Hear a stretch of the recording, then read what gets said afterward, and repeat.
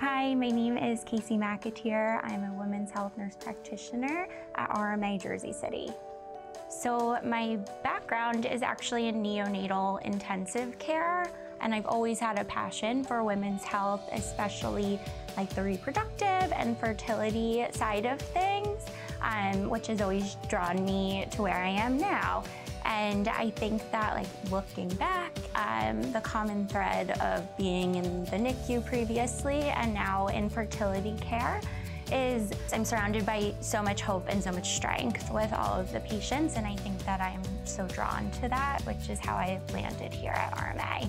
I want my patients to know that I am here for them in the good times and the bad times because there's gonna be both, okay? This journey is a roller coaster and there's gonna be highs, there's gonna be lows, um, but I am here in their corner no matter what and I will be their biggest advocate and that we will try everything and anything to grow their family and whether that means to have a baby soon or maybe for my egg freezing patients, you know, for later. And I think that um, just so they know that I'm here and I will be their biggest advocate.